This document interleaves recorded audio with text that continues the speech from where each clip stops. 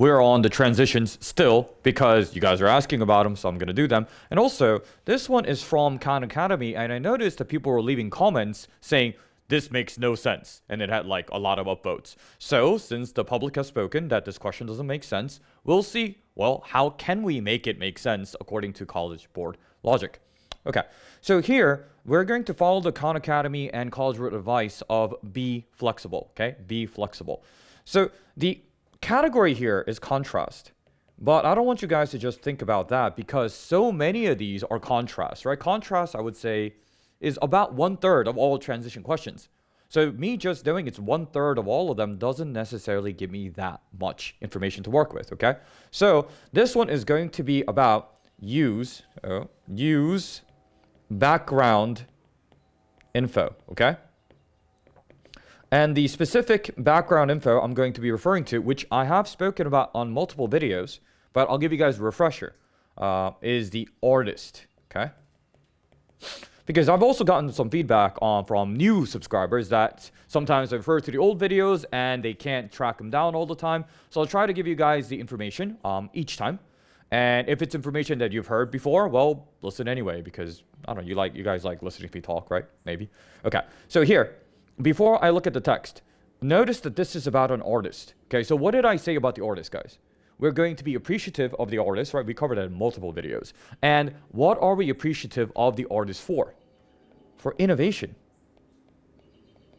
For doing things that are different. Okay? So what is that? They do something that nobody else does and very, very specifically. It's actually crazy how specific this is, yet it gets repeated. They do cross genre work. Okay, so take take something from their own um, heritage and they mix it with some European influence, or they take something classical and they mix it with modern.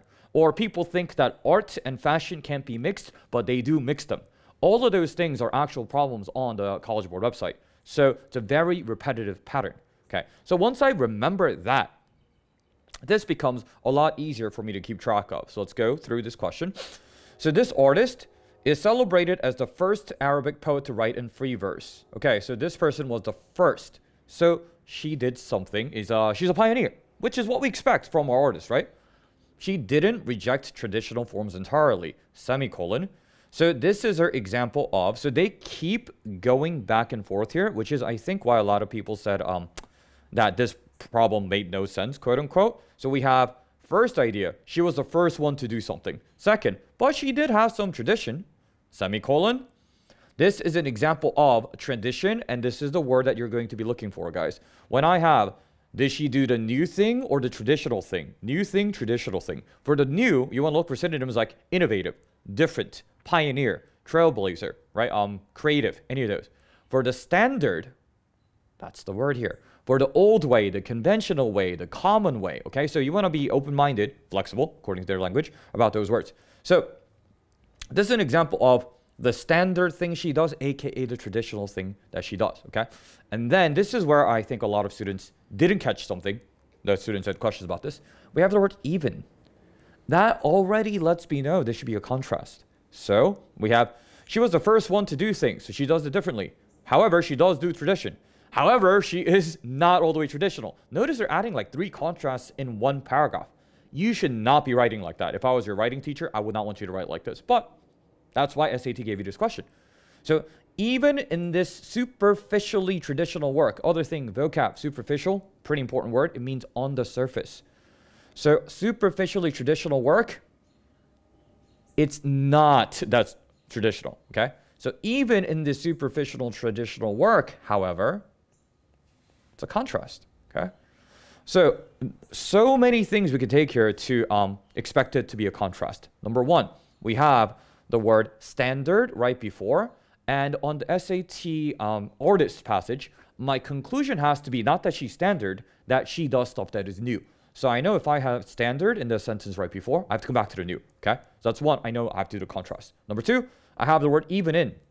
Another clue that's a contrast, okay? Number three, I have superficially traditional. So if I have phrasings like superficially traditional or ostensibly something or apparently something or it may appear like this, I'm always going to contrast it later. So I have three ways for me to know that this is um, going to be contrast.